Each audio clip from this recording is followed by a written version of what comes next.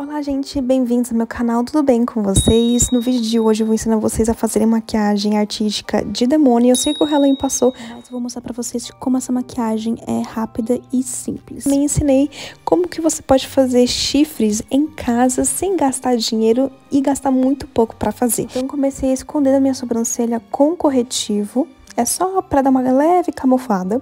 Venho com pó translúcido para poder selar esse corretivo. A base que eu usei foi a bege 1 da Vult para poder fazer meu rosto, então eu quero deixar o rosto bem branco mesmo, como se fosse pálido. Como eu não tenho pancake, então você consegue usar bases que são um tom abaixo da sua pele.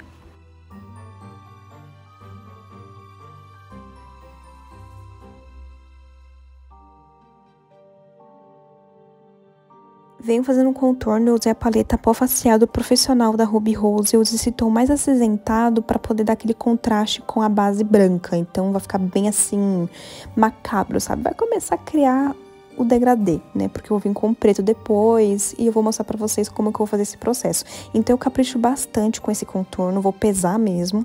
Antes do preto eu passo um marrom mais escuro, então eu peguei uma sombra da paleta da Mariana Sade, que é Special Day, e vou intensificando. Faço as tempas e também começo a fazer o contorno descendo em direção ao meu maxilar para deixar mais assim caveirado. Faço também maquiagem no colo para poder acompanhar com o rosto, faço algumas marcações no pescoço e logo depois eu vou marcando a cravícula. Depois eu venho com a sombra preta da própria paleta da Mariana Sade e começo a fazer detalhes nos olhos. Então já começo a fazer no canto interno e vou passando por todo o côncavo.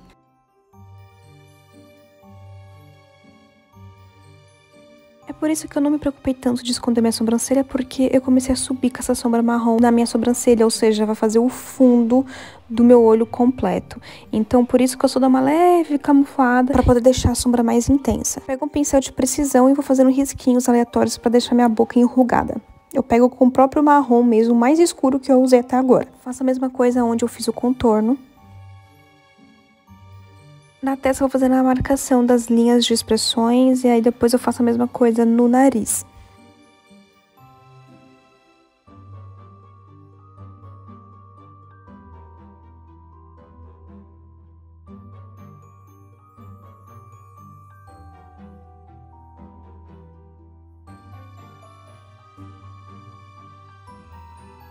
Onde eu fiz o contorno nas bochechas, faço um risco porque eu vou intensificar ainda mais esse contorno.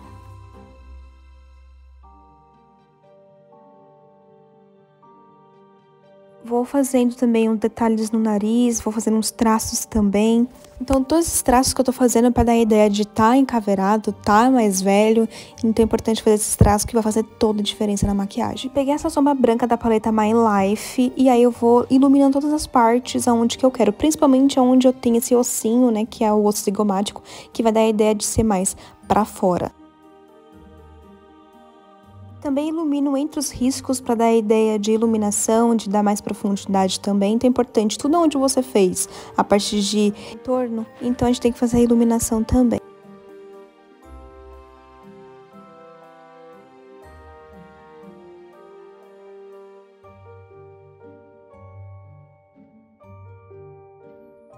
Finalmente venho com o preto e aí vou intensificando tudo isso que eu fiz com o marrom. É importante fazer o degradê para não ficar uma coisa muito chapada. E o segredo, gente, é esfumar sempre.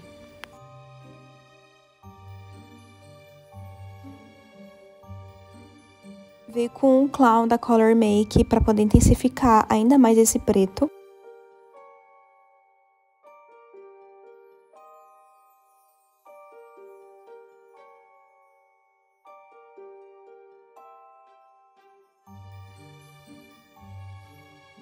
Peguei a mesma sombra que eu usei para iluminar o rosto, passei no centro do meu olho para dar aquela iluminação e dar mais profundidade ainda.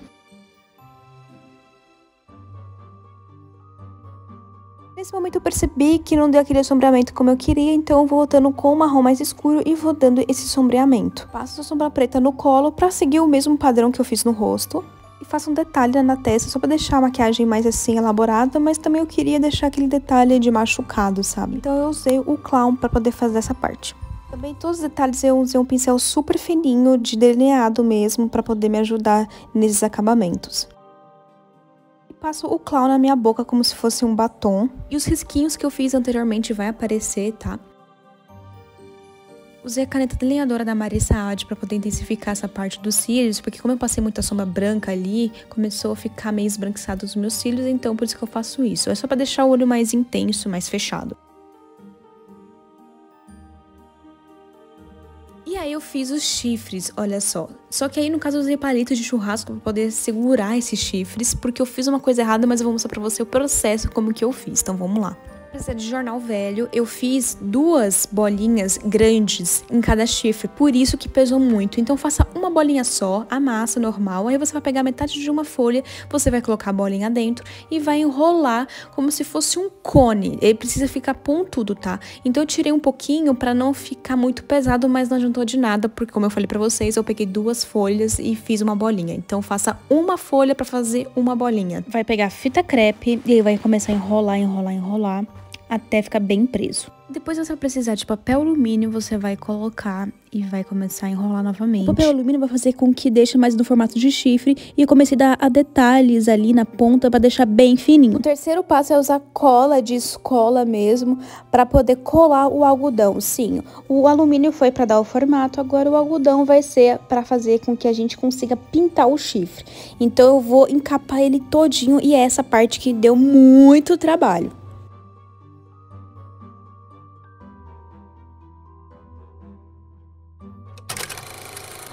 Teve umas partes que o algodão não pegava de jeito nenhum, e aí ficou uma parte meio mesclada assim, mas eu achei que combinou super bem. Nessa hora eu comecei a colocar na cabeça com os palitos né, de churrasco, mas se ficar mais leve, você consegue colar no arquinho, então fica mais prático. Como eu já tinha feito, demorou um dia para ficar 100% seco, então eu preferi fazer desse jeito para poder me ajudar. Tá vendo que ele não ficava parado por conta do peso do jornal, que eu exagerei. E aí eu comecei a enrolar o cabelo para poder disfarçar, né, que tava com palito ali, e também tava um pouco grosso demais. Aí comecei a enrolar, enrolar, enrolar até que começou a dar certo. I'm going to do my stuff.